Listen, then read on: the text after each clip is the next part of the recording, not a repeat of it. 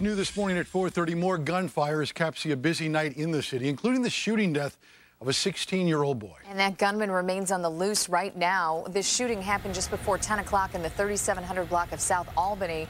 Police say a 16-year-old boy was shot to death in a drive-by. The victim's identity has not yet been released. Meantime, two teenagers are wounded on the city's south side. It happened at East 74th as an 18-year-old man and 16-year-old girl were hit while standing on the sidewalk. The male's in good condition while the girl's expected to recover. And kids on the street as young as four were there to see it all unfold and had a disturbing reaction.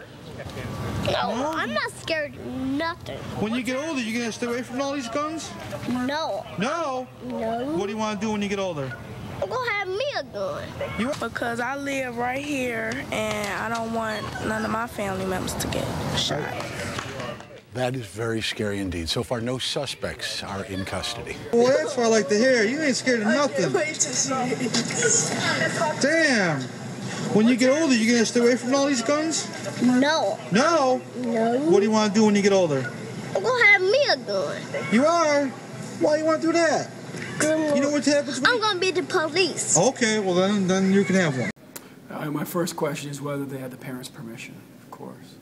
And then to hear that the boy aspires to be a police officer, and that's what he meant when he said, I'm going to have me a gun, and that they didn't include that is disturbing. As somebody who's a former journalist, uh, like many past presidents of the NAACP, it's important to tell the whole truth, because when you tell half the truth, you're in effect lying.